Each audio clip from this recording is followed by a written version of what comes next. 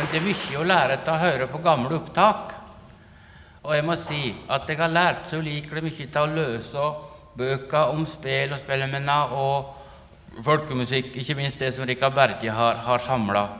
Og det kan være veldig mange små ting som en kan plukke opp slik i skriftlige ting som, som, kan være med å forme spillet.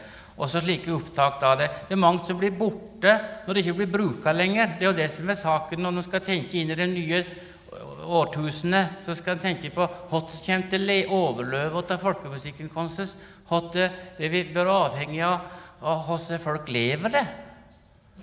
Om det, om det blir bruk for slåttemusikken i, i, forskjellige sammenhenger. ikke sant? Hvor kunstig kommer det til å bli og utvatna, og hvor mye kommer folk til å helle på de særegne tradisjonene.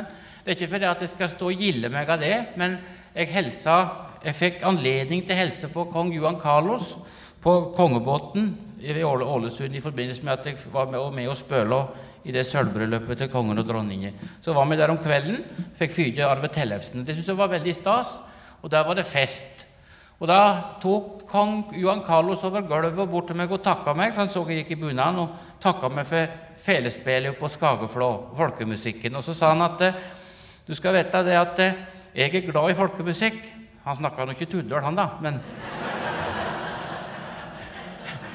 Jeg kan jo liksom snart oversykje det til tuddøl, som til bokmål. Jeg er glad i folkemusikk, og det skal du vite at i, i Spania Han begynner slik 'Jeg kommer fra Spania, jeg, og jeg syns det er jævlig moro her', sånn. og så skal du vite det, sa han, at i Spania der kan alle danse flamenco. De lærer det i skolen, og uansett om uh, de er opptatt av helt moderne ting for øvrig, så danser de flamenco og er glad i folkemusikken sin. Og det må det òg være her i landet. De må helle folkemusikken deres gjev og bruke den, for det er deres egen identitet, og den, den skal de bruke for turistene når de kommer, og den skal de bruke sjøl i heimlandet deres. For det skal de være stolte av. Så slo han seg på hælen, og så dansa han bort igjennom. Det syns jeg var en god kveik. Jeg syns det lyst til å spørre en flott til Knut Lurås. Han var en urolig kropp.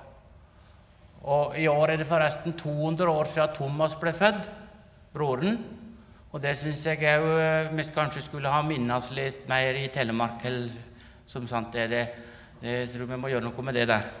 I Tinn har de skrevet et hefte og har en utstilling i Østbygda omkring Thomas Lurås. Det var en stor folkekunstner, en fargens mester.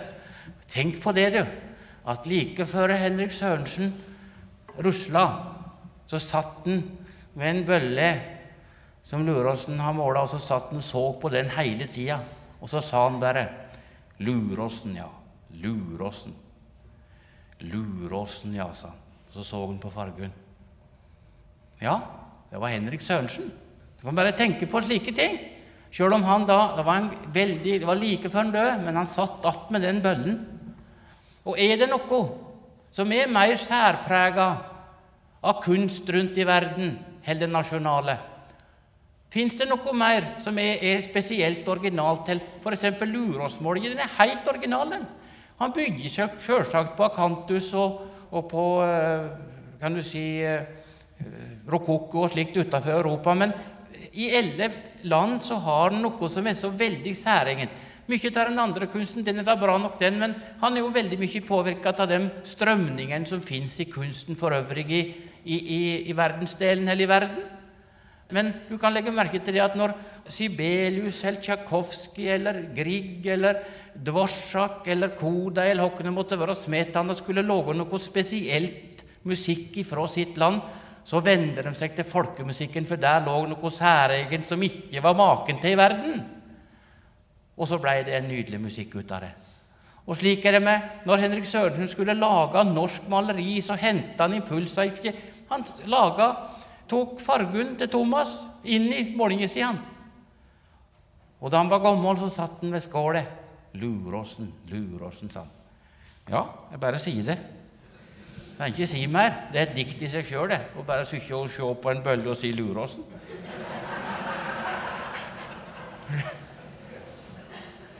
Og Knut han, han var en merkelig person.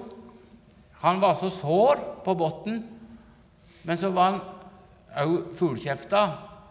Han ropa til en mann som gikk på veien, 'Gå hjem igjen og legg disse lucifermat', sa han.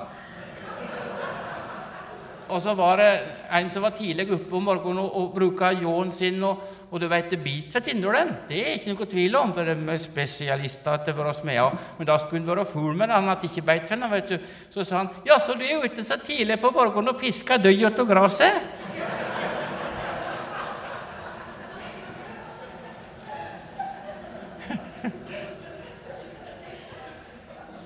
Men så vet du det at på den andre sida Knut Løra hørte på en som satt og spøla at eh, jeg lurer hvordan det var hvis du hurra noe mer på det tenoren, sånn. Kjem der, så spiller man. Så skal jeg vite jeg har spøla inn mange, bror, jeg. Å ja, har du spøla inn mange, du, så dansa hun negga ikke av glede. Men så har du det motsatte. Åssen han var. Da var han slik. Men når de satt og sa at det var, at det var ikke å høre på den og den spellemannen, så sa Luråsen det fins ingen spellemann så klen han har noe å lære av.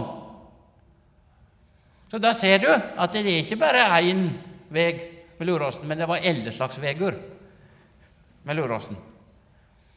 Skal jeg spørre en ganger etter Luråsen?